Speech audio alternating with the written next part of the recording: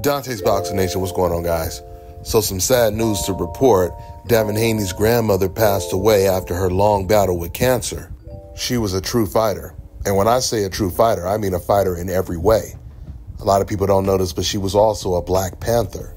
The Black Panthers was a very powerful black organization that was founded by college students, Bobby Seale and Huey P. Newton. They fought against systemic racism. They wasn't afraid of the police. They weren't afraid of white supremacists.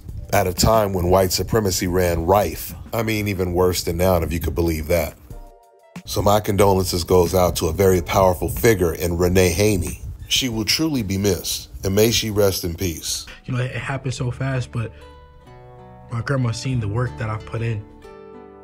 My grandma has just been there along the journey. We got so many memories. I used to train at Kronk in Detroit with her. My grandma was my homeschool teacher. She puts her best foot forward and keep on going, and that's that's motivation for me.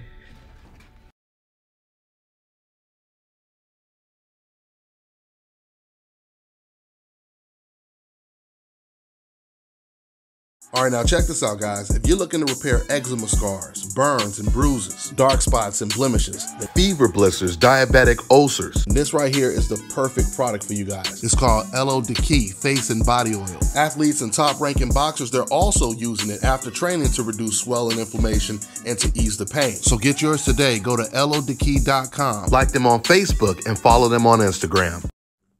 Fellas, I've got some great news for you. If you've lost your hair or have a receding hairline, the time has come when you can finally get your hairline back through a process called scalp micropigmentation. So here's how it works. It's a hair tattoo that replicates the look of your hair follicles when you have fully shaved it down. So to get this hookup, make sure you follow and contact my man Scalp Carolinas on Instagram.